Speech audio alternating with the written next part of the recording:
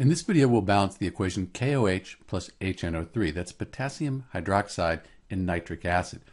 Potassium hydroxide is a pretty strong base. Nitric acid is a strong acid. So we'll mix these two together and have a neutralization reaction.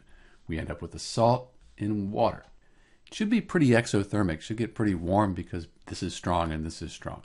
So let's go ahead and balance the equation by counting the atoms up on each side. We have one potassium, one oxygen, plus these three oxygens here. So we have four oxygen atoms. Hydrogens, we have one, plus we have one right here. So we have two of those.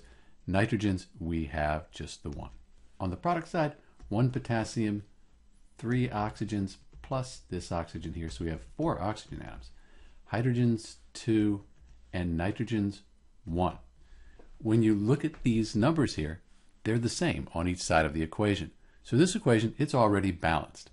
If you're having problems, it's likely you counted this oxygen and maybe forgot about these, or you counted this hydrogen and didn't count this one here. This is Dr. B with the balanced equation for potassium hydroxide plus nitric acid. Thanks for watching.